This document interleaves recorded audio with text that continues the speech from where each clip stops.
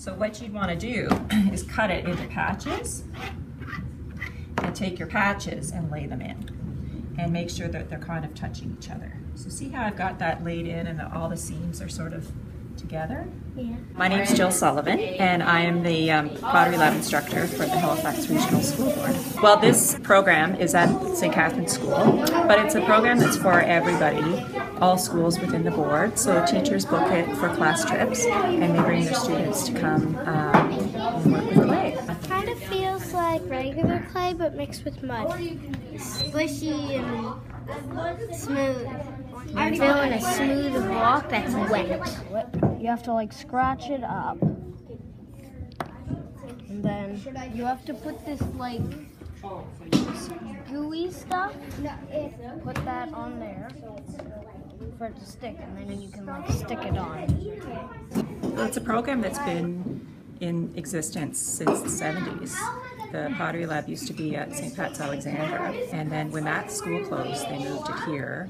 And I'm so glad that it's continued throughout the years and that it's it's been a successful program since then, and hopefully for years to come. It's quite fun. I never really got all, got working with all these nice tools and stuff. I usually just sculpted just with my hands.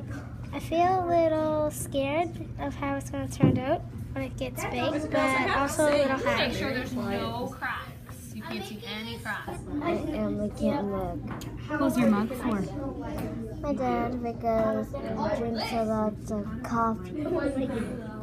Each session's about two hours. First session they come and they make pieces, usually two or three per session. And I give them some tips and some ideas. And then two weeks later, after the pieces are fired, uh, they come back and they glaze their work.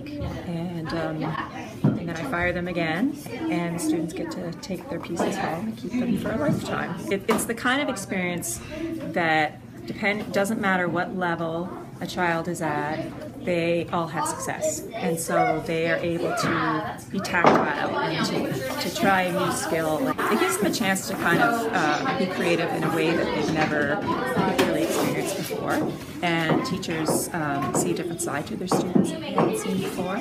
Um, and it gives them a little taste of something that they might want to kind of pursue in the future. Having fun looking at other people's creations and kind of getting ideas of what to make.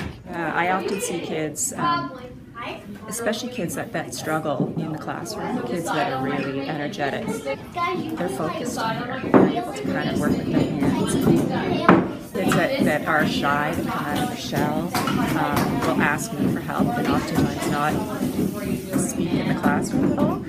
And I see kids helping each other in the skills that they have. They have to share the materials. They have to kind of work together side by side. What do you envision for this plate? I feel like it would be for like type of like chips or something maybe. It's so rewarding because I see instant success and the kids are happy when they're here and it's exciting for them. I'm making a kit if I can. A unicorn.